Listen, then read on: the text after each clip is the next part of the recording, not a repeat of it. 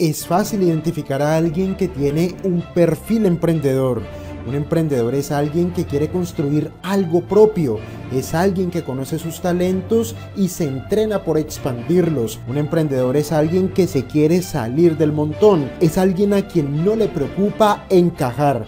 Un emprendedor es alguien que quiere tomar sus propias decisiones, tener el control de su vida, decidir cuánto dinero se merece ganar. Un emprendedor es alguien a quien no le gusta recibir órdenes, cumplir horarios, agachar la cabeza, aceptar que otro le diga cuándo puede irse de vacaciones o cuánto tiempo puede pasar con su familia. Un emprendedor es alguien que no está dispuesto a aceptar gritos o humillaciones no le gusta vivir bajo las normas o las reglas de otro. Un emprendedor es alguien que lucha por su libertad, que se entrena por su libertad, que lo inspira vivir en libertad.